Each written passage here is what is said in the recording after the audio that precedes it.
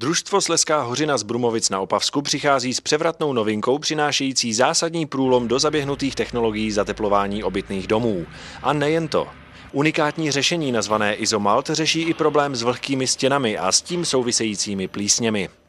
Tak vlastně vývoj polyuretanové teplně izolační omytky Izomalt začal v roce 2005 za spolupráce s odborníky z Vysoké školy Banské Vysoké učení technické v Ostravě. Vyústěním je teda teplně izolační omítka Izomalt, která má nejen vynikající teplně izolační vlastnost, ale i velice příznivé difuzní podmínky, ale k potvrzení správnosti těchto výpočtů se teda realizovala stavba ve Velké Heraldici, kdy jsme vnitřní a vnější omítku teda dali z našeho izomaltu. Domek, na který se díváte, je tedy vlastně vědecké pracoviště.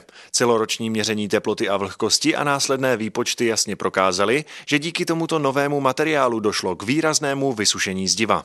Přednost izomaltu spočívá v tom, že slučuje několik eh, kombinací zateplení. Za prvé zateplíte dům, omítka je difuzně propustná a další výhodou je to, že se vám uvnitř domu netvoří žádné plísně. Současně můžete zachovávat trvalý architektonický ráz budovy. Při práci s zlomatem není třeba znát nějaké technologické postupy, je to běžná eh, zednická práce, nanášení buď strojově nebo ručně. Eh, je třeba ho nanášet na čechraně, protože kdybychom ho nanášeli hustěji, je to větší spotřeba materiálu zbytečně a ztrácí tepelní izolační vlastnosti. Hlavní výhody izomaltu proti polystyrenu nebo vatám jsou ty, že nezdržuje vlhkost, odpuzuje vlhkost ze stěn. Při aplikaci izomaltem nejsou vidět spáry, spoje. Dále se dá použít jak venkovně, tak vnitřně.